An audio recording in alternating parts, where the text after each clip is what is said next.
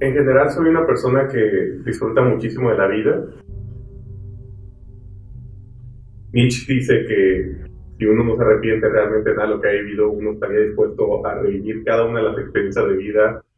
las buenas y las malas, para llegar hasta hoy. Y es un pensamiento con el que me comprometo, que, que lo siento mío.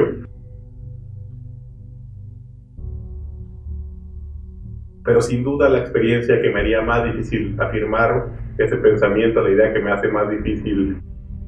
repetir toda la vida de vuelta ha sido la depresión. Yo entre mediados del 2016 y mediados del 2018, sobre todo todo el 2017, fue un año donde viví una depresión muy, muy profunda.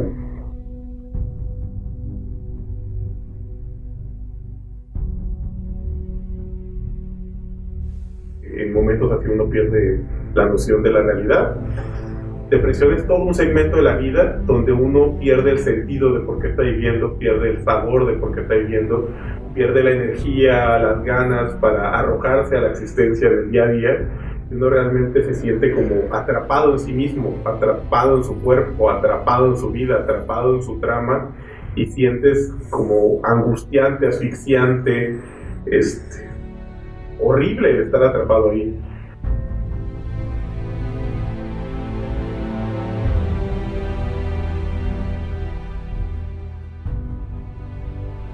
realmente la depresión no sigue como un patrón determinado,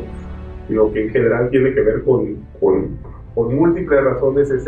estar profundamente disconforme, profundamente insatisfecho, profundamente inestable en la vida y que hace precisamente ese momento en el que uno está tan insatisfecho, tan inestable, difícil responder que, que uno quiere vivir, porque uno incluso se levanta todos los días viviendo una forma o de otra lucha por, por vivir, pero es muy difícil sentir que la vida vale la pena, es muy difícil realmente afirmarse, es muy difícil querer, querer vivir en, esos momentos.